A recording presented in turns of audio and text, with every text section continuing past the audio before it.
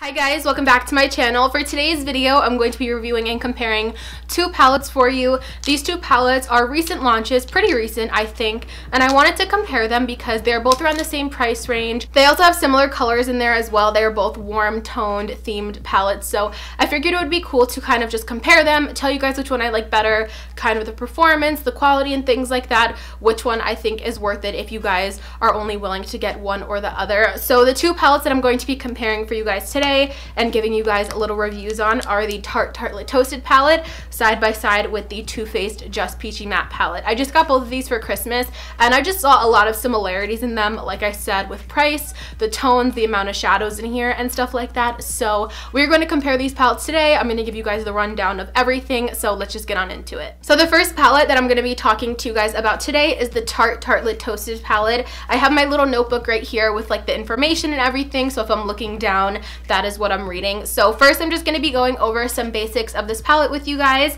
First, this palette retails for $46 and you get 12 shadows, 7 mattes, and 5 shimmers. I love the mattes. I do have the Tarte Pro palette as well as the Tartelette and Bloom palette and I do feel like this formula has really just stepped up. It's really nice. The mattes are so pigmented and buttery. When you compare the mattes in this to something like the mattes in the Anastasia Modern Renaissance palette, I wouldn't say that they're as pigmented, but I also would say that these are so much easier to work with and if you're a beginner I would definitely recommend shadows that are formulated like this over something like the Anastasia Beverly Hills palette. They still are pigmented, don't get me wrong, but I think they have the perfect amount of pigmentation that they coat the brush nicely, they apply smoothly. They're not dry, but they're not overly creamy where they're falling apart in the pan or really dusting off your brush. I didn't notice much fallout at all when I was applying the mattes in this palette. And as far as the shimmer goes, like I said, there are also five shimmers in this palette. I've only tried one of them on my lid, but based on swatches, I would definitely say that this shade Candle down here, I wouldn't necessarily know if I would describe this as a shimmer. Maybe it would be more of like a chunky shimmer.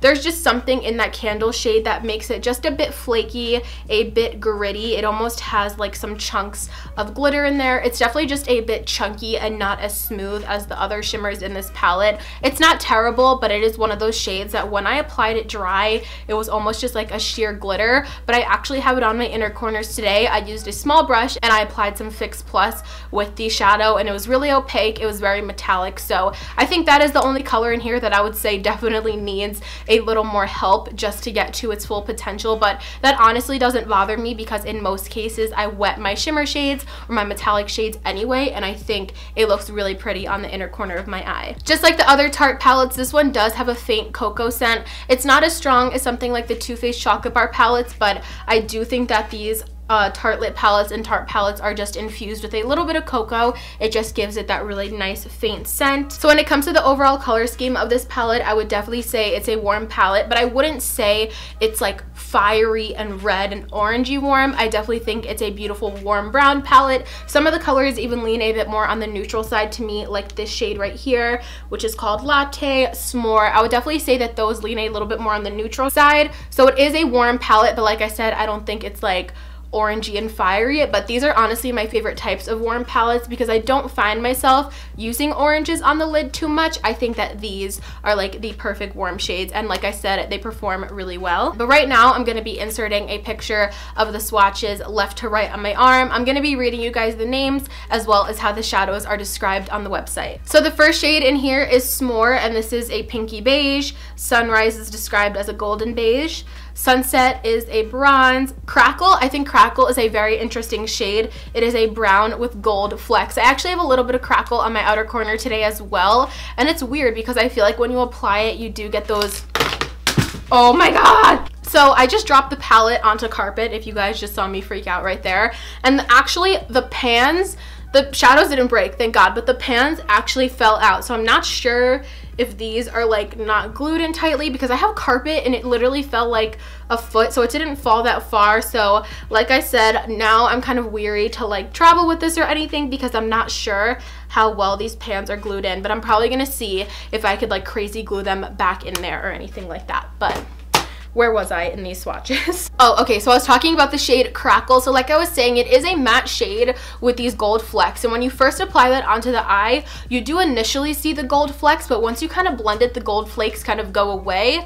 Um, and you're just left with the matte brown. I do feel like if you pack the shade on your eye or even wet your brush, those gold flakes are going to stick on the eye. So I just think it's a really versatile shade. I'm not really sure if you would categorize that as a matte or a shimmer. I definitely would describe it as a matte with glitter in it, if that makes any sense. The next two shades are some of my favorites in the palette. Cashmere is a pale peach and Warmth is a terracotta. Those are some of my favorites to use in my crease as transition shades. Flame is a metallic rust. Cozy is a brick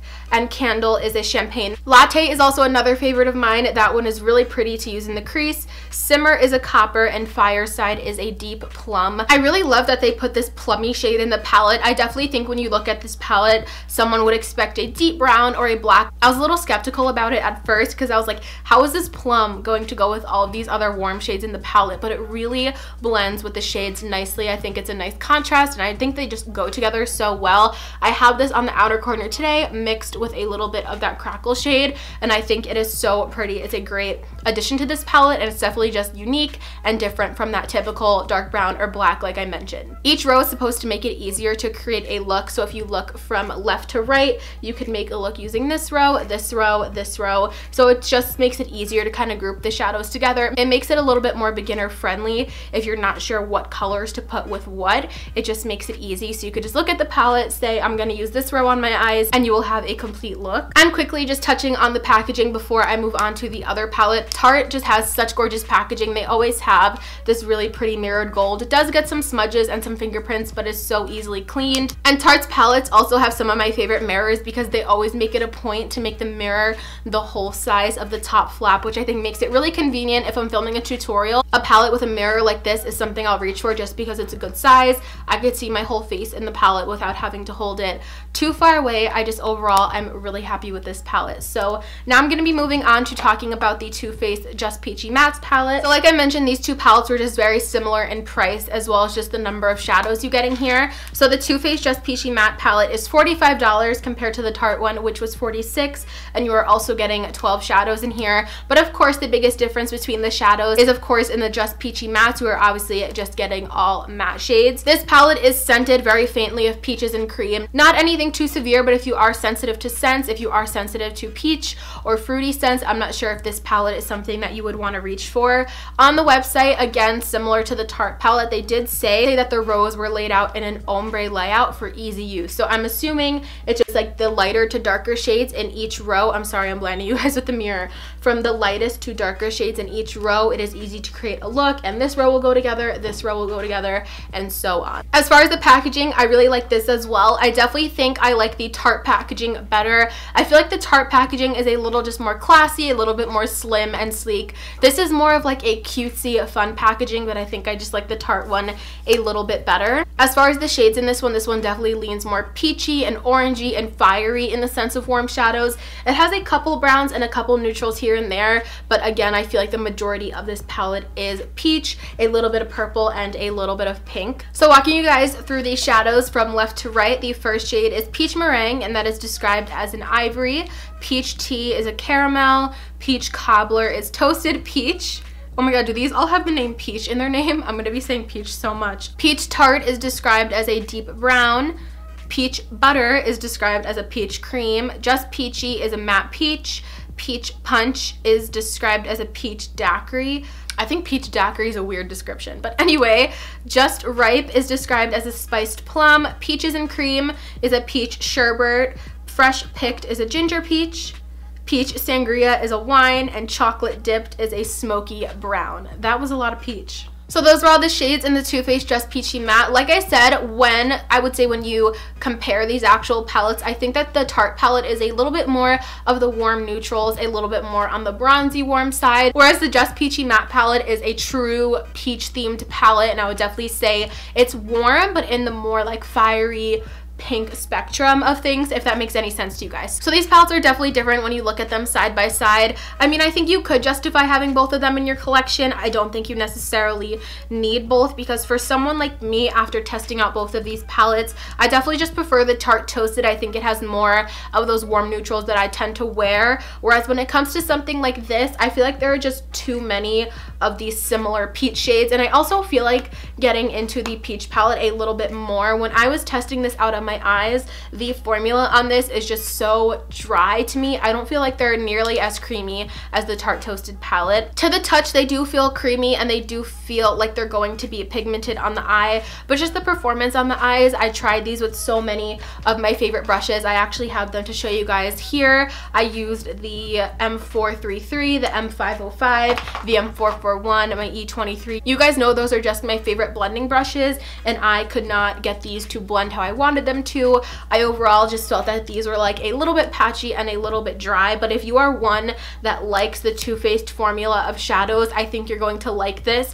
I used to really like the Too Faced formula of shadows a little bit more than I do now. Just after experimenting with things like Tarte palettes and the Anastasia palettes, I do like a little bit more of a creamy pigmented shadow that just blends easier, that just gives me that initial pack of pigment on the initial application. I feel like when I was applying these shadows, I had to go over the same color a couple times to get the intensity that I wanted. So overall, I definitely wouldn't say that this Too Faced Just Peachy Matte palette is like the worst palette that I ever tried, but I definitely just don't think it's my favorite. I'm probably going to go ahead and give this one more chance or two more chances before I decide to return it, which I think I'm going to do. But just from like the times that I did use it, like I said, I just didn't love it. And when I do compare it to the Tarte Toasted, it is just like no, it's just not a close comparison for me. The Tarte Toasted is so much better in my opinion.